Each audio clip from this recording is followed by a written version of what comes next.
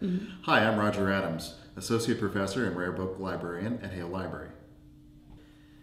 Two years ago, through the help and generosity of the Friends of the K-State Libraries, we were able to acquire the David J. Williams III L. Frank Baum collection.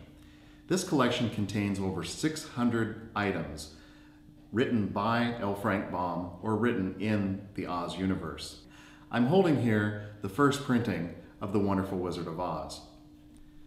Today, L. Frank Baum is remembered mostly for his work with The Wizard of Oz and other books in the Oz universe, but few people know that he actually wrote a number of other books for children not related to The Wizard of Oz at all. And in fact, he wrote under several pen names.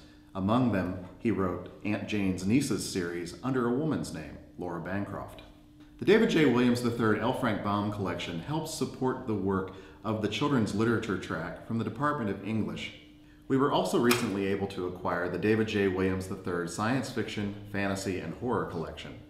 This collection contains well over 3,000 items of science fiction, fantasy, and horror that are not only rare or limited or signed, but just exceedingly interesting, including a number of pulp magazines from the 1920s through the 1940s, some of the rarest science fiction available.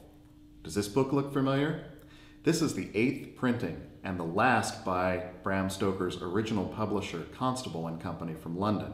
We recently acquired this to supplement the David J. Williams III collection, and it is so fun because all the previous editions of Dracula appeared in a buttercup yellow that don't even begin to match this gruesome gothic blood red.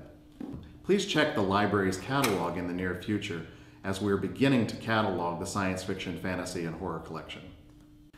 Special Collections is both a museum and a library. It's a museum in the sense that we take these items and we put them in temperature controlled and humidity and secure areas, but that doesn't mean that we put them there to keep them away from the public. We want you to come use our collections. Our collections are open to anyone, undergraduates, graduates, faculty and staff, as well as the general public. We hope to see you someday in our department.